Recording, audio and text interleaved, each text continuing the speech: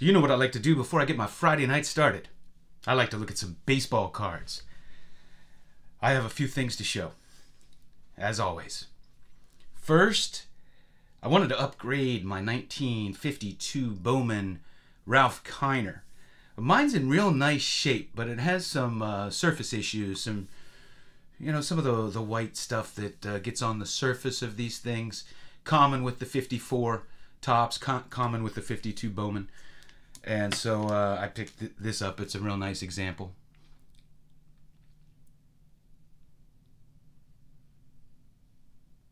And Ralph Kiner, man, he doesn't get enough love in baseball or the hobby. You know, Ted Williams put him on his all-time best hitters list, 20, 20 best hitters of all time list. If Ted Williams is calling you a good hitter, man, you're a good hitter. And of course, the only player to lead the league in home runs his first seven years in the majors. His first seven years. I think what hurts him is uh, at the time he played for Pittsburgh, they had god awful teams. Uh, but what's funny is Branch Rickey was the general manager when he played, and and he went to him, you know, after like the seventh year leading the league in in home runs, and he wanted a pay raise, and Branch Rickey wouldn't give it to him. He said, "If I can, if I can lose with you, I can lose without you." And so he went on to Cleveland. I got this cool one, and I love to collect minor league cards. And uh, this is the uh, 84 TCMA Pawtucket Red Sox. Roger Clemens.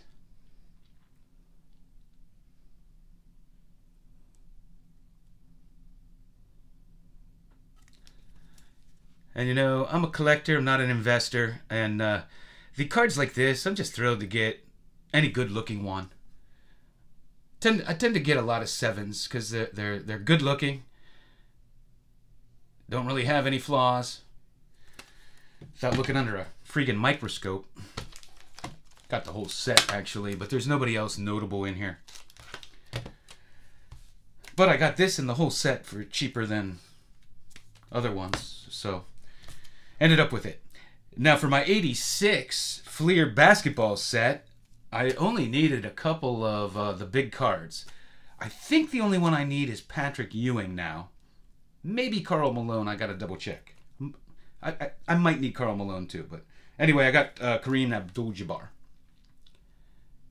and it's a uh, really nice and nicely centered. This set is notoriously off center. Uh, so glad to finally add that. So I'm down to two big cards, or maybe one. I gotta double check. I uh, got this Todd Helton. This thing's pretty cool draft class.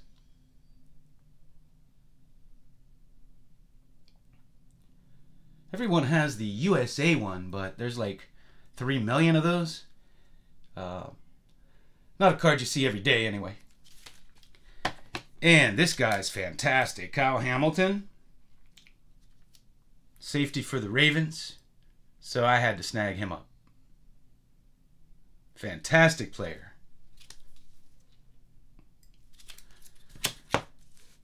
I got this Giannis, and this thing is just so cool to me. I love it. This is the courtside. Have another version of this. It's orange and man, it's uh, it's it's actually hard to see the image. I, I think they did too much refractor stuff with it. but I love this card. Put it in one of these half-inch thick screw downs. Kind of looks museum quality when you set it down. And I went back through an old, I went back through my old uh, Sports Illustrated for kids cards uh, because I knew I had this, and this is why I subscribe because a lot of times there will be a big card in there or a card you want, and it's from two years ago. Uh, so then you got to go pay up for it. So you just subscribe for like 20 some bucks a year, you get them all. And uh, then it's fun to go back if somebody blows up and uh, pull their card out. So anyway, I got a, um, a Caitlin Clark here. I went back and pulled her card out. And these are these are the Mag Pro holders I've been telling you about. My My labels are coming tomorrow, so I just had labels done with my name on. The Mangini collection. They designed a cool, cool look. Cause you know I hate those numbers. I mean, look at this card. What's the first thing you see? The freaking number. Ridiculous. I got this. Um, man, Tim Duncan was such an amazing basketball player. And it's a cool card. It's the gold medallion.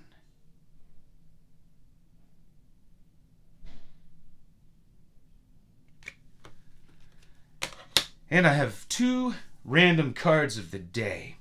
One is this 1952 Wheaties Sam Snead. And if you collect golf cards, I believe this is his only golf card. At least from back then. Who knows with all these modern cards they make with old players, but I do believe, searching for many years, that this is his only golf card. Although he may have another Wheaties. Most of them have an action and a portrait. I, don't think I've ever seen a portrait if, if it exists, but uh, cool card. Sam Snead, one of the greatest. What he had some record. The number is 11. Was it 11 majors? 11 tournaments in a row? Something like that. An, an amazing golfer. My other random card of the day, and one of you will know and comment and let me know. I have all these facts and names in my head. I can't always pull them out. uh, so, another random card of the day is my man, Franco Harris, 1977 Topps. And I thought this was interesting. This was an interesting card to talk about because you could see that he was a thousand yard rusher. Now, what's interesting about this is in 1976, Steeler fans and the Steeler team will tell you that was their best defense ever. They were off to a rocky start, surprisingly, because they were the favorites to win the Super Bowl. But they lost. They were like one and three after four games, something like that. And Terry Bradshaw got hurt. They had to bring a young quarterback in, rookie quarterback named Mike Kruczek. He was our backup.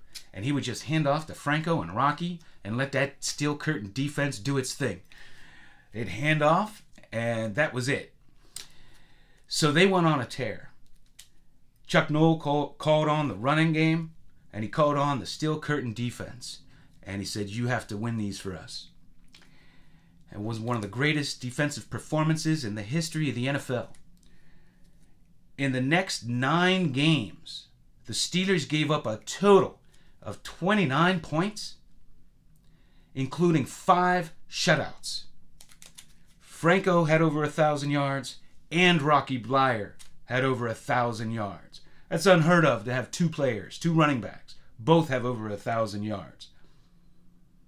And they went to the championship game they won the first playoff game huge, killed them. I think it was I think it was the Colts, the Baltimore Colts, and then both Rocky and Franco got hurt in that game.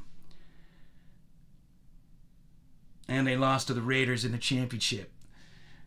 But an amazing season. It was just too much. You know, back then it was more of a running game and, and losing both your running backs. They had a young running back named uh, Harrison, what was his first name? Reggie Harrison. Didn't do too good. But what an amazing season and an amazing defense. But what's interesting is that Mike Kruczek that year set the rookie record for most consecutive wins by a starting rookie quarterback.